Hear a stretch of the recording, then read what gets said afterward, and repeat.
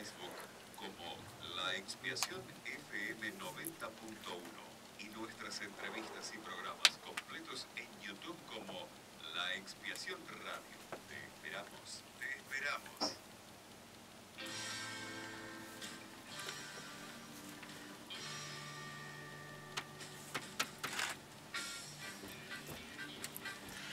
209 continuamos aquí en la expiación y como prometimos estamos en compañía de Nicolás Loretti y Paula Manzone, ¿puede ser? Sí. ¿Qué tal? Bueno, tenemos aquí al director y guionista de 27, El Club de los Malditos y tenemos a la villana, ¿no? Ah. También eh, tenemos así que extraordinaria eh, compañía tenemos hoy, así que bueno, muchas gracias por venir, es un honor realmente que estén acá, muy contentos de que, que vengan. Gracias a ustedes, Gracias la verdad. Bienvenidos. Un lujo, sí. Eh, estamos muy, muy contentos porque bueno, esta película está teniendo un éxito bárbaro, está hace un montón de semanas en, en cartelera de muchos cines. Eh, y decir, bueno, ¿quién alguna vez no escuchó sobre este, esta famoso, este famoso club que trágicamente no engloba a, muchos músicos internacionales que, digámoslo, no engloba ninguna nacionalidad, no es que se centra solamente en un país, sino que eh, esto, eh, lastimosamente, hasta por ejemplo Rodrigo, sin ir más lejos, se incluye en este club de 20 que murieron a los 27 años por distintos motivos. Digo, ¿cómo surgió de tu mente esta idea tan extraordinaria de, eh, digo, había que hacer algo, ¿no? Con este, con este club de los malditos, digo, eh, con este club de, de los 27. Y Tanto se habló. Sí, fue hace un montón, ya eh, debe hacer 10 años de la lo que fue la primera versión del guion, que era como un policial más serio. Y nada, con los años después fue tomando forma de lo que es la película hoy, que es una cosa más delirante, que mezcla géneros y demás. Pero ya hará unos 10 años, cuando yo todavía trabajaba en la revista La Cosa, fue que empecé a trabajar la primera versión como una película que tuviera un concepto fuerte, ¿no? De tipo, ¿de qué se trata la película? Y bueno, hay un músico que muere a los 27 años y eso se relaciona de repente con todas las otras muertes de, de músicos famosos a esa edad. Y Claro. nada, después con los años trabajando diferentes versiones, fue transformándose más en una comedia con cine fantástico, que es lo que es la película hoy. Es una mezcla, ¿no? Entre western, digo, eh, acá tengo, bueno, ciencia ficción, humor negro también, sátira, tengo varias, tengo calificado, Sí. me han metido en varias casillas y eso está un bueno. poco de todo, sí, es como la maldición de la película, ¿no? Que me fue pasando a mí con los años, que siempre trato de hacer una película me sale otra cosa, ¿viste? Como que Diablo era una de acción, pero al final no fue una de acción, nada más, más una comedia. Con Kryptonita pasó lo mismo, quería que sea más algo más anclado, bueno, género superhéroes, pero después terminó siendo, bueno, un poco un policial, tiene un Mm. momento cómico, es dramática, ¿viste? Y nunca me, nunca me sale un género puro, pero bueno, es... No, esto está bueno. Eh, bueno, decir también que la película trata de responder, ¿no? A, a este mito, digo, ¿qué ha pasado con esta gente? Eh, digo, eh, intento, por ejemplo, tiene acá de destino o conspiración, es la pregunta, digo, que tira la, la- la- la película. Sí, un poco es así. También estuvo el tema astrológico, que, que es lo que le sumó Pauli a- Sí. al guion. Que, mm, porque, porque en verdad, viste, cuando vas leyendo acerca de estas cosas, siempre aparece alguno que dice, a este lo mataron. Cobain lo mataron. Sí, o está vivo, ¿no? lo mataron, está vivo, no se murió. Entonces, un poco jugando con eso, después ella me recordó, va, me recordó no porque no lo sabía, pero me dijo esto, ¿no? Del, Sí, de lo los de- 27 lo- años. El retorno de Saturno. Sí. Que, es, una, es algo que hablan lo- los astrólogos sobre todas las personas que cumplen 27 años, tienen el retorno de Saturno. eh, y eso implica un movimiento importante en sus vidas. Lo explica mucho mejor Sofía en la película. Sí. Eh, pero bueno, entonces me parecía que era... Incluso los astrólogos tienen eso, como una teoría respecto de cada uno de los músicos que murió a esa edad, ¿no? Eh, pero nunca que iba a ser una que era una conspiración. No, eso eso, ya eso es parte bien, bien de ustedes. Claro, eso es lo interesante, ¿no? Que en la película también, a partir de, de investigar, ¿no? Sobre las teorías, sobre, bueno, los mitos, la película arranca como un policial, también tiene comedia y también esta parte astrológica, le mete esto de ciencia ficción, ¿no? Y todo esto surge a partir de, eh, de las investigaciones que ustedes también fueron haciendo, ¿no? Para... Sí, un poco es así porque el- en, en un comienzo yo quería que la película tenga como una trama más policial clásica donde mataban a este músico como para vender discos y justo era a los 27 años, ¿no?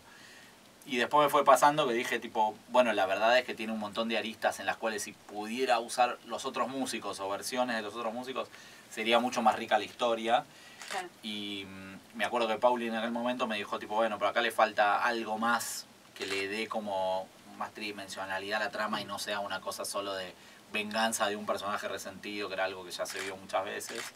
Y ahí vino todo el lado, estoy cantándolo bastante bien. Me y ahí vi- vino todo el lado como, como de, de toda esta parte astrológica y también la relación entre el personaje de Capuzotto y de Sofía que sea algo más, más paternal y no tipo una idea que yo tenía en un comienzo que sea una cosa más romántica, que era mucho más cliché, y en cambio acá se vuelven más como amigos con Sí. pinches y eso la hace también más rica la historia, ¿no? Te lo hace más, más fresco, más divertido y nada, todas esas cosas fueron pasando a través de los años y modificando el guion que nunca me terminaba de convencer hasta cerca de filmar la película, la verdad. Y creo que los actores terminaron de darle lo que le faltaba, ¿viste? Claro. Interesante. Y es interesante también que, que hayan incluido en la película estos momentos ¿no? de, de recreación en blanco y negro de, de las muertes ¿no? de, de estos rockeros, que son recreaciones muy meticulosas por el lenguaje, eh, las actuaciones, eh, el diálogo que tienen, ¿no? Como por ejemplo Jim Morrison, Amy Winehouse, eh, Jimi Hendrix, eh, son algunos de, de las recreaciones, ¿no?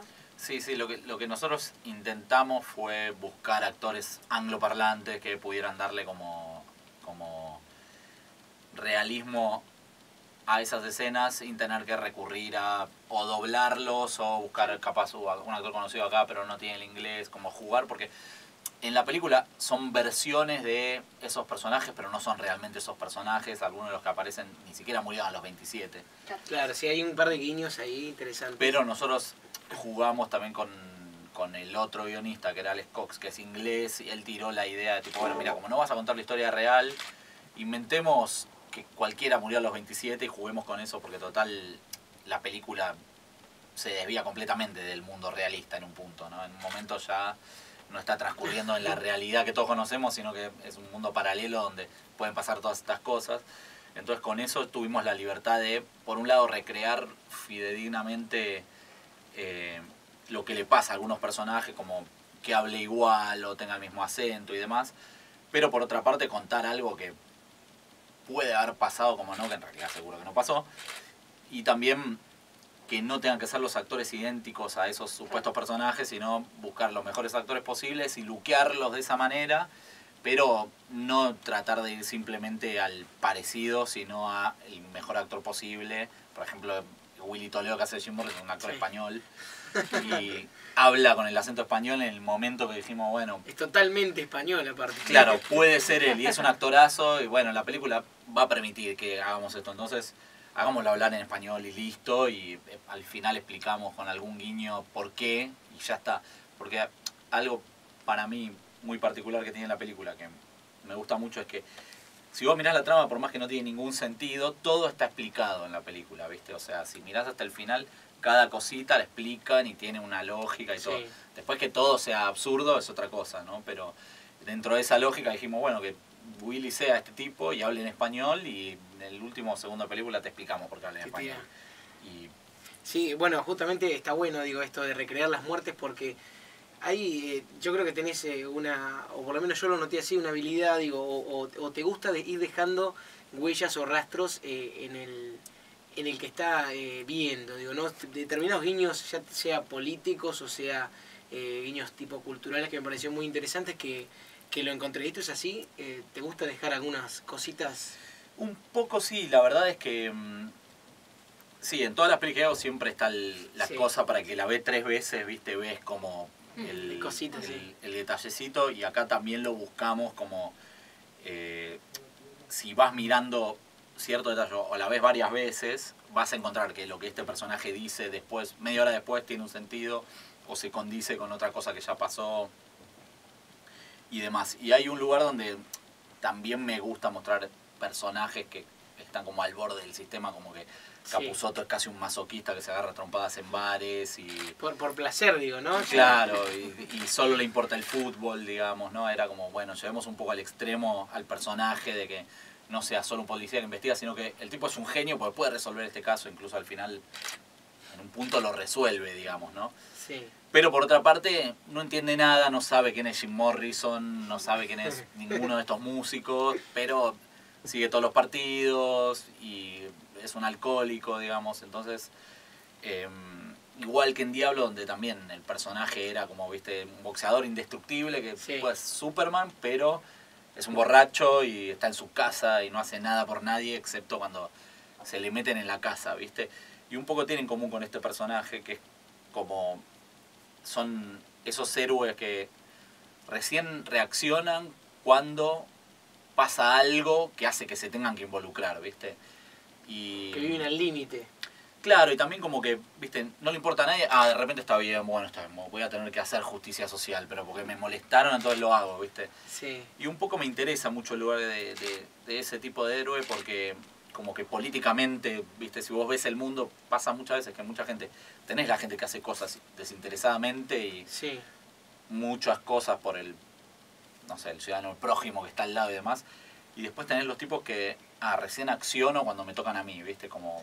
Claro, nos molesta que nos movilicemos, pero que uno se movilice, pero cuando te tocan a vos y Claro, tenés que sí, sí, movilizar, digo, como diferente. Me parece, me parece interesante la visión política de ese héroe, viste, que el, el- el héroe normal es el que siempre está haciendo el, el bien, y digamos, pero vos tenés... Pero es muy interesante el lugar del tipo que, ah, podría estar haciéndolo todo el tiempo, pero no, algo lo hace reaccionar, viste.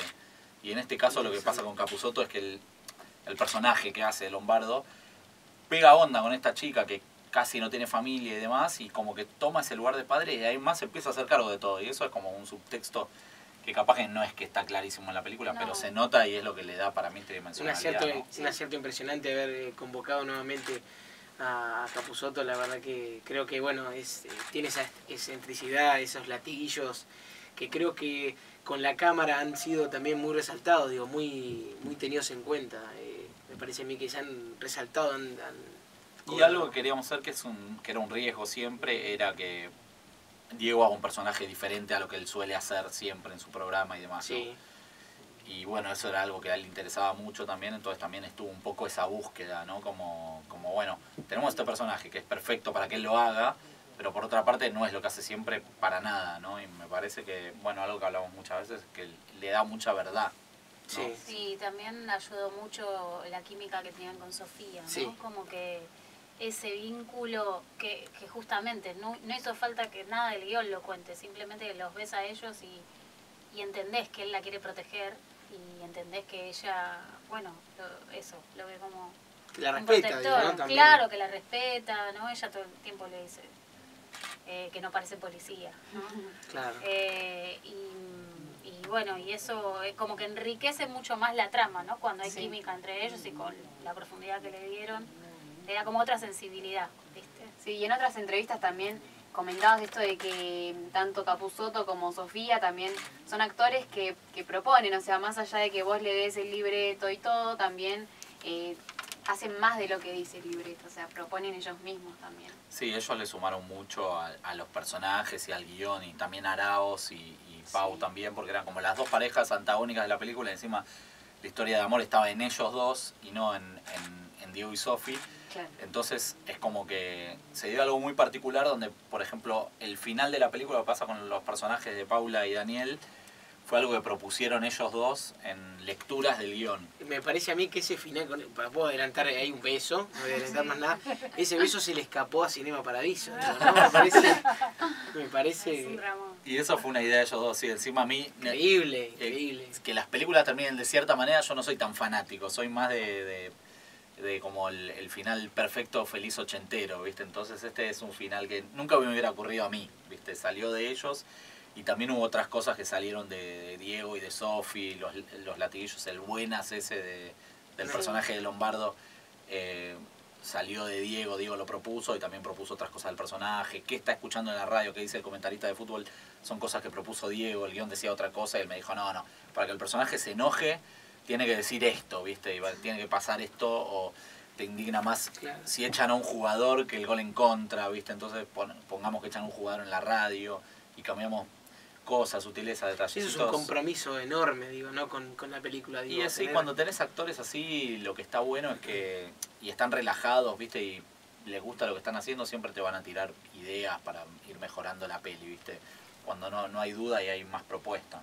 Sí, también está bueno siempre ver los guiones desde ese lugar, ¿no? Como el guion empieza a tener vida cuando el actor empieza a hacerlo, ¿no? Entonces, eh, obvio, está bueno tener un guion sólido, pero, eh, pero viste, no agarrarse como, Claro. ah, es así y listo, ¿no? Decir la palabra tal cual está, Mm. sino como saber que es un disparador para el actor y que, y que lo mejor es poder elegir buenos actores, porque los buenos actores son los que también le suman, ¿no? Yo creo que además de, de tener buenos actores, tiene un gran trabajo. eh, digo, que se ha notado que, por lo menos esto noto yo desde la butaca, que estaban muy cómodos y estaban eh, muy a gusto, digo. Se nota que la pasaron bien, digo, ¿no? Sí. Eso se nota cuando Sí, uno lo yo ve. siempre trato de que sea una experiencia lúdica, ¿viste? Hacer una película porque tiene tanto esfuerzo y es un laburo que, ¿viste? Hay trabajos que te pagan más, digamos. O sea, está bien, el cine te puede dar millones, ¿no? Si Sí. estás en cierto lugar.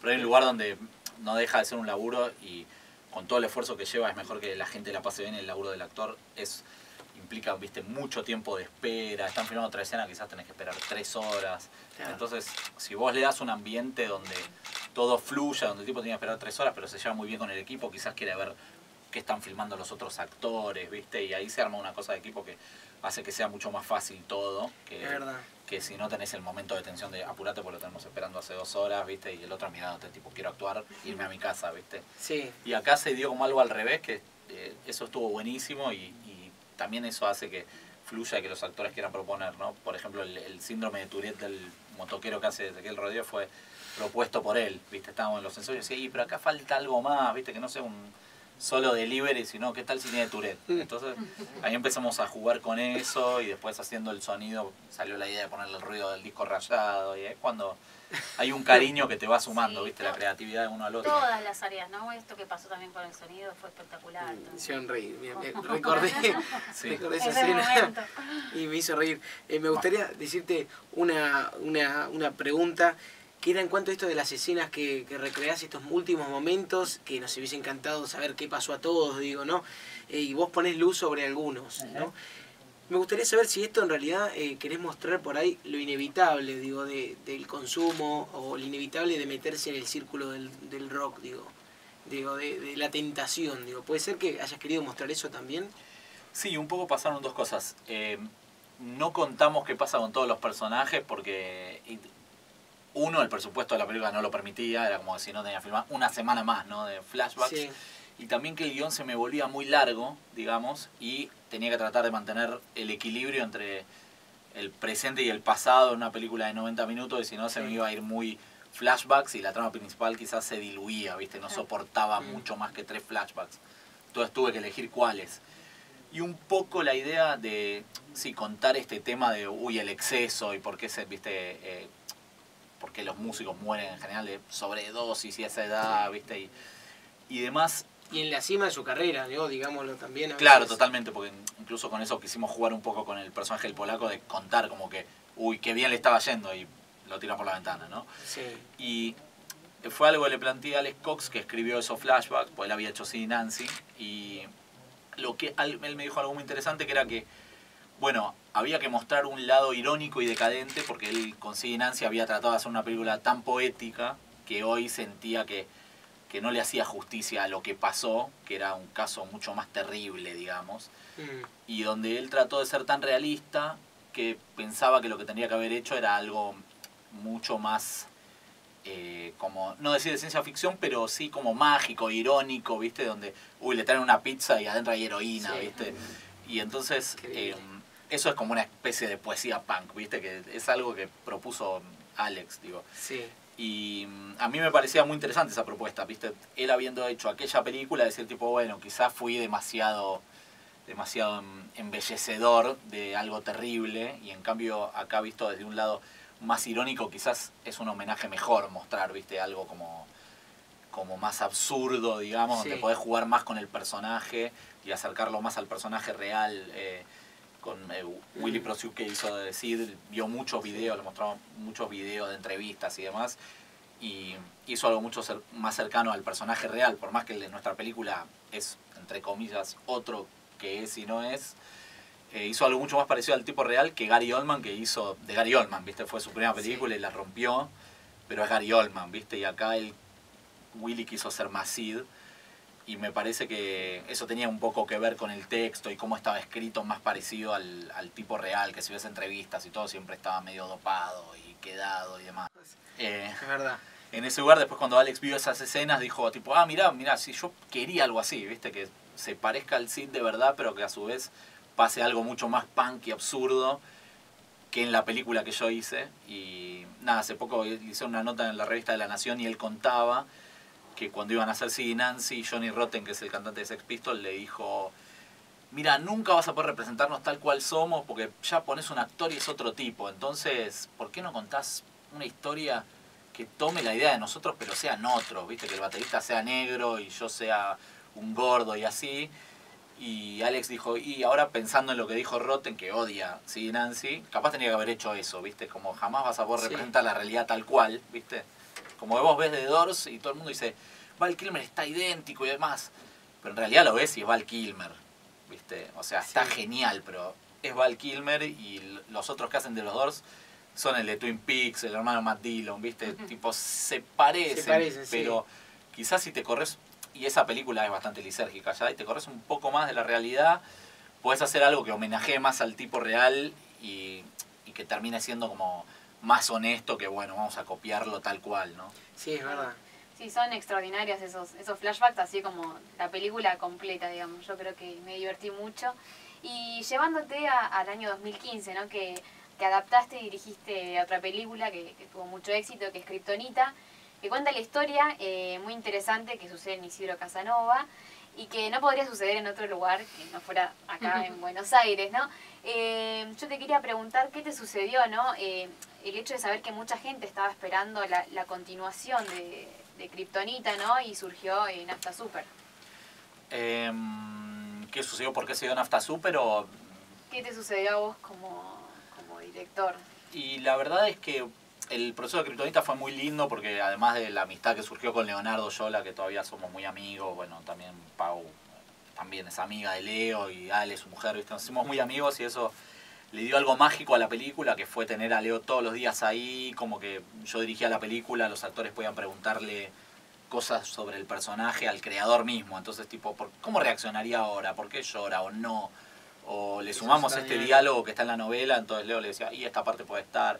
Como que se dio algo muy mágico, que después cuando hicimos la serie se transformó más en algo, por lo menos en mi caso, el proceso fue algo más laboral de televisión, ¿viste? Como que ya funcionó y algunas cosas a mucha gente le gusta más que la película, a otros le gusta más la película Sí. y, y algunas cosas fueron mejores, eh, pero en mi caso particular fue como más, ah, esto se está transformando en un trabajo y yo disfruto mucho más Claro. eh, cuando el cine es algo más especial, digamos, Sí. ¿viste? No más especial que la televisión, sino es algo más que un trabajo. Entonces en ese lugar me pasó que yo quería volver a un mundo donde tipo, ah, podemos crear algo de cero y que vuelva a tener magia en lugar de bueno, vamos a explotar esto hasta que no dé para más, ¿viste? Porque si ya se está volviendo un trabajo, en un Sí. año es un trabajo. Y trabajar está buenísimo, pero si te gusta, está mejor, ¿no? Y teniendo la oportunidad de elegir, la verdad que yo fui eligiendo eh, hacer películas en lugar de más televisión por ahora. Las dieron así. ¿no? Sí. Bueno, eh, extraordinario. Eh, no, me, no me quise despedir y me encantaría que, que vengan nuevamente bueno, a profundizar Kryptonita, Nafta Super, Diablo y bueno, también has hecho el guion de La Memoria del Muerto, de, Fui uno de Genio. cuatro guionistas, ¿eh? claro, de, de- de un genio. Eh, así que bueno, eh, me gustaría que, que vengan nuevamente. Creo que esta película, al igual que, que todo lo que venís haciendo, muestra una, una clara personalidad, una búsqueda de originalidad y algo muy propio, un estilo muy propio. Digo, estamos tan acostumbrados a ver tantas cosas iguales y estandarizadas y digo y que vos des, un- des un poco más, digo, te arriesgues a apostar un poco más y funcione, me parece que es extraordinario y bueno, digo, hay un laburo de, de- de elenco muy bueno, eh, también Paula, eh, extraordinaria, junto con Aragos, dos parejas explosivas eh, en la antítesis, en los travelings que hay, bueno, cuando cae el polaco, cae por los aires, eh, es, los, los planos de detalle, digo, hay un Sí, laburo un- impresionante, un laburito ahí efectos, también. Eh, así que sí, los chicos de Juan Solo que hicieron los efectos son impresionante. grosos y la foto de Mariano Suárez, el arte, Pablo Sala, el sonido.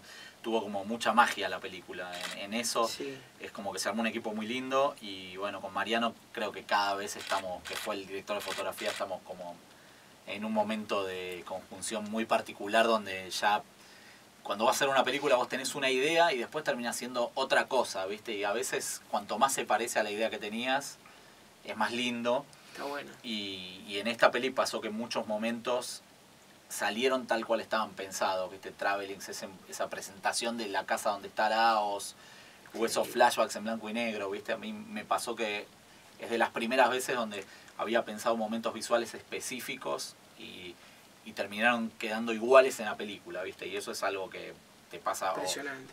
cuando sabes mucho desde el principio o cuando, bueno, sabes más porque fuiste aprendiendo, como es mi caso, ¿no? Pero sí, estoy muy contento No, no, Traveling feliz de que lo valoren. que no es tan no es tan común ver travelings eh, por eso es que digo a veces hay plano y contraplano y plano y contraplano y no, no se ven esa Y con Así los tiempos que tenés que filmar en Argentina, viste, a veces tenés que No contar la historia y no filmarla de la mejor manera porque no llegás y acá tuvimos tiempo. Eso fue bueno, gracias a la producción. la verdad que bueno felicitarlos eh, me encantaría que vengan nuevamente a profundizar los Nos trabajos faltará y- oportunidad. y, Tratamos de filmar todos los años, así que siempre algo hay llámenos de vuelta a la próxima y volvemos.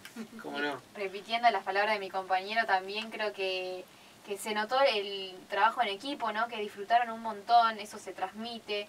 Hay un trabajo meticuloso en cada personaje, creo que, que cada personaje eh, fue trabajado de una forma con mucho detalle y la verdad es que yo disfruté muchísimo la película, así que queríamos eh, hace un tiempo que, que vinieran, así que felicitaciones. Bueno, mil gracias a Esperamos ustedes. tenerlo nuevamente. Cuando Por se favor. fichas dijimos esta película agendada, esta película, y la buscamos, la Quedó buscamos, lindo el afiche, ¿eh? la buscamos hasta que bueno los pudimos eh, tener acá. Así que bueno, muchísimas por gracias favor. por venir. A Bueno, ustedes. hemos conversado aquí con Nicanor Eloretti y Paula Mancio. Manzone. Manzone. Manzone, bueno, Eh, y bueno, continuamos y continuamos escuchando un tema que tiene ahí eh, Chicho por ahí. Sí, tiene Chicho un tema por ahí. Muchas gracias por, por venir. Gracias a ustedes, ustedes. eh. Che, mil gracias. Yo estaba preocupado.